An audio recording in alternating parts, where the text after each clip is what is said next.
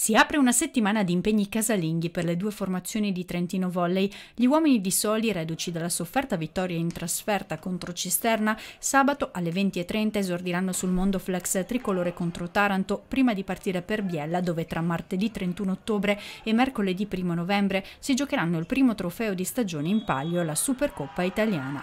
Come abbiamo visto già a Latina sarà sarà sicuramente un campionato tosto ehm, dove questo anno, eh, come sempre, si vuole battere il, il campione. Questo anno è, lo, lo, è Trento e dobbiamo essere attenti e pronti che ogni squadra proverà a, a dare qualcosa di più per, per vincere o rubare, prendere i, i punti da noi.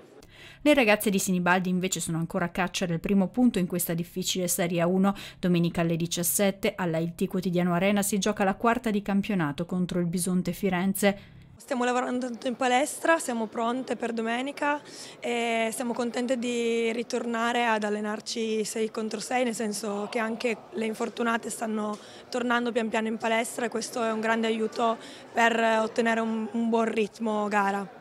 Già dalle partite di sabato e domenica il pubblico di Trento sarà protagonista. I tifosi potranno votare il loro MVP sulla pagina web dedicata dallo sponsor promo.barchetti.it slash trentino volley. Alla fine della stagione il giocatore del femminile e quello del maschile che saranno stati più votati riceveranno una coppa speciale e un premio in denaro che sarà devoluto in beneficenza alla ASD Ski for Smile, startup per l'inclusione di ragazze e ragazzi disabili.